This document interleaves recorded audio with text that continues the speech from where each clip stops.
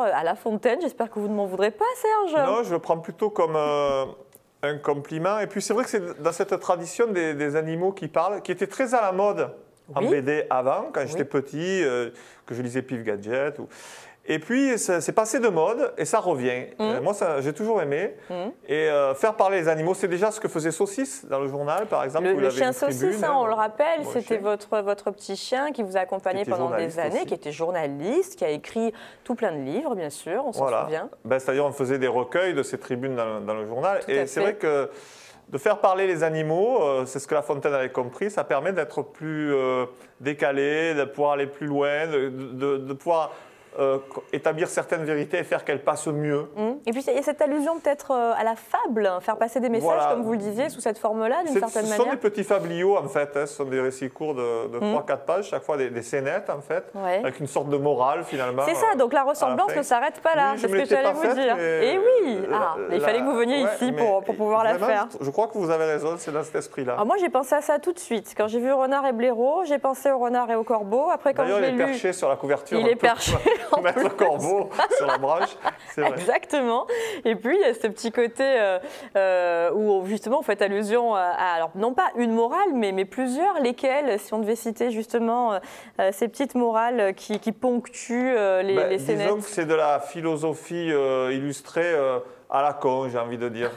Euh, D'ailleurs, écoutez, euh, j'en prends à, à témoin la, la- la phrase de quatrième de couverture. Tournez le livre Ouais, hop là. et, et Alors, lisez euh, ce qu'il y a écrit. il n'y a pas de mauvaises réponses, mais que des bonnes questions ou un truc comme ça. Et là, on voit Voilà. ce, petit blaireau qui est représenté en fait sous l'aspect de l'homme de Vitruve, hein, de Léonard de, de Vinci. Voilà. Et bon, Voilà. Je dirais que c'est tout l'esprit de la BD, c'est dans le ou un truc comme ça, quoi. C'est-à-dire, ce, ce sont des genres De euh, d'approximation euh, philosophique entre un renard et, et un blaireau. Mais quand euh, même, il se questionne beaucoup, le petit renard. Donc euh, des approximations, mais on, retrouve, on se retrouve un petit peu, parce que comme je le. Mm. disais, on est à l'ère du Covid, donc il y a quand même des sujets d'actualité euh, qui sont abordés euh, dans cette BD, et aussi euh, des, des sujets ou des attitudes qui nous sont propres à nous, humains, et notamment le fait d'agir un petit peu comme des moutons, bien souvent, Oui, et en ce moment en particulier. Tout à fait. Alors, c'est ça. Effectivement, on s'y retrouve. C'est-à-dire que chacun va s'identifier plus ou moins à, à- à un des personnages.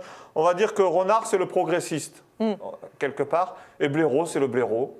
et ils confrontent un peu euh, leurs- leurs opinions, leurs points de vue. euh, et euh, un peu comme on le fait nous sur les réseaux, réseaux sociaux. Quoi. Mhm.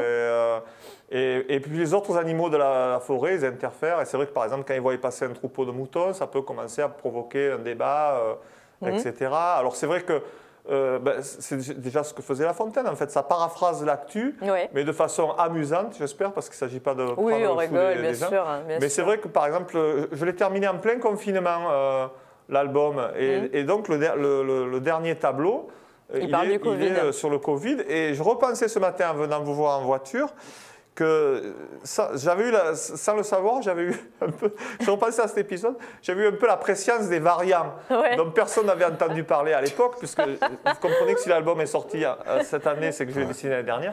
Ouais, et en vrai. décembre 20, Incroyable.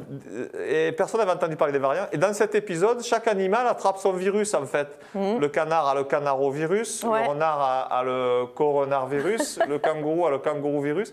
Et je me suis dit, euh, ben, finalement, c'était les variants euh, avant l'heure. Comme quoi, des fois, en déconnant, Bah Ouais, oui. comme quoi, Comme hein. quoi. Voilà. Incroyable. il faut déconner. Un petit gourou aussi qui fait son apparition. Alors, ça serait qui le petit gourou dans Ben, c'est l'histoire très, alors, vous savez, on on est une époque pleine de gourous. Aujourd'hui, il y a des gourous, des coachs pour tout. Qui nous disent comment penser. Et c'est ça. quoi Et dans faire. cette forêt, on ne sait pas pourquoi, il y a, il y a un gourou qui est venu se perdre là. Et qui a un slip sur la tête. qui hein. un C'est animal qui vient de commun. loin. Ouais, c'est Zlibar kangourpu. En fait, c'est la slip sur la tête. Et euh, voilà, il se prend un peu pour le gourou de la forêt. Personne n'y demande rien, en vérité. Et, euh, et bon, euh, bon, Zlibar kangourpu, pour vous dire la vérité, c'est un nom qui m'est apparu en faisant une faute d'orthographe. Vous savez, avec les claviers. Ouais. Ah, il y a le- la correction automatique. La co- non, moi, avec mes gros doigts, ça fait Ah. un genre de correction automatique. J'ai des gros doigts et sur les petites touches. J'ai voulu taper slip kangourou. Ouais. Et ça a tapé tout attaché, j'ai raté l'espace et, le, Ça a tapé euh, Slibar Kangourpu. C'est comme ça que naissent vos oui, personnages. Je voulais marquer Slibar Kangourou et ça a tapé Slibar Kangourpu. J'ai trouvé ça tellement drôle et j'ai eu la vision du personnage. Donc le kangourou avec le slip sur la tête. Et le lendemain, il, il, arrivait dans la BD. Voilà, c'est comme ça en fait que ça fonctionne. Parce que c'est vous qui dessinez. Hein, euh, Je fais tout. Vous faites tout de A à Z. à, la, maison, je fais la cuisine. Waouh. C'est ma femme Mantin, va me tuer Un homme parfait, ben, elle vous entendra hein, si elle regarde cette émission, on la salue d'ailleurs. un homme parfait, Serge Scotto. Alors vous dessinez de A à Z, euh, donc vous expliquez justement comment vous était venu cette apparition de, de, de ce, gourou que j'ai sous les yeux avec son, son, slip sur la tête, ce gourou kangourou. Et pour les autres personnages, euh, comment ça se passe Serge en fait? Donc vous, vous, l'évoquiez hein, au début de cette, cette, émission, vous aviez envie de, de faire parler de deux animaux. C'est plus facile aussi peut-être? Ou plus marrant euh, que de passer par euh, c'est plus facile et plus marrant. Et puis euh, le dialogue, c'est une façon de traiter tous les sujets parce que ça permet d'opposer les, points de vue. C'est euh, un dialogue, c'est toujours contradictoire. Et moi, mhm. j'aime bien. je, comment dire Je, suis un, homme sans opinion finalement. Mhm. ça m'étonnerait, ça tient. Oui, mais je dirais que je, dirais que je les ai toutes et qu'aucune ne m'a exactement quoi. Et j'aime bien un peu penser dans tous les sens et, voir ce qu'il ce en sort. Et c'est ce qu'on peut faire avec des personnages. Euh, on peut, on peut euh, parler à plusieurs voix. En fait, on se parle à soi-même à plusieurs voix. Euh, mhm. avec des personnages. Ça permet de, se poser davantage de questions que ce que ça apporte de réponses. Mhm. Mais c'est une BD qui, en fait, sur laquelle je ne me suis posé aucune question. D'accord. Vous savez qu'à côté, je fais la collection Pagnol, c'est un chantier très sérieux, j'ai d'autres BD beaucoup plus sérieuses. Celle-là, je l'ai faite pour me faire plaisir. Oui. Et euh, j'ai laissé venir euh, ce que j'avais en tête. Et finalement, c'est des, des, tableaux comme ça qui me viennent, pour ainsi dire, au fur et à mesure. Assez naturellement, finalement. Aussi bien les personnages, voilà. Mais il y a leur beaucoup d'auteurs qui travaillent comme ça. Euh, parce que là, je suis sur un champ libre, mhm. puisque je suis mon propre maître. C'est pas comme quand je suis au service de Pagnol, où il n'y a, rien qu'un seul auteur, c'est Pagnol. Et je suis entièrement à son service. Là, je suis au service de mes personnages. Et pour écrire, euh, pour dessiner, euh, vous, vous puisez où votre source? Vous vous baladez dans votre belle campagne ou vous vous posez vraiment là sur votre bureau? Comment ça fonctionne? Alors, je suis un garçon très bucolique et c'est vrai que j'ai pris beaucoup de plaisir à situer euh, ben, ces histoires. oui, à la ah, campagne. En extérieur, hein, du coup, là tout se passe La campagne très française, j'ai envie de dire, avec des, montagnes, des troupeaux de moutons. Mm. Euh, des, forêts, et, euh, parce que c'est des, endroits où, je me sens bien. Et ce qu'on a voulu sur cet album, c'est que finalement, euh, ça, soit un peu comme une balade en forêt. C'est-à-dire que les couleurs sont douces, mhm. c'est avenant, j'espère que, c'est... Voilà, voilà, c'est une sorte de partie de campagne qu'on vous propose. Je dis parce qu'il y a l'éditeur. Ben, bien sûr, Mosquito, édition Mosquito.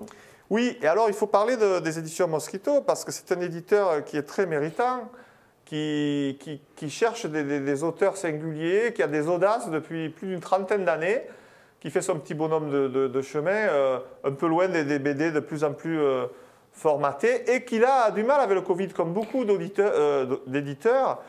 Et même si vous n'achetez pas la mienne, achetez une BD de, de Mosquito. Mais achetez celle-là, tiens, euh, auteur marseillais, Serge Il faut soutenir les, les, libraires, mais il faut aussi sauver les éditeurs. Bien sûr. Et ça sauvera aussi quelques auteurs, parce que sinon, demain, il n'y aura plus rien dans les librairies. Et ça serait bien dommage la biodiversité du livre a vraiment été mise en danger mhm. par le par le Covid, par, cette situation qu'on vit depuis un an déjà. Et, c'est pour ça que allez piocher un peu. Euh, allez soutenez, euh, soutenez les auteurs et puis surtout vous passerez un bon moment. C'est ça qu'il faut dire parce qu'on rigole beaucoup. Et puis euh, voilà, ça se dévore en, pas, longtemps, vraiment, je vous assure.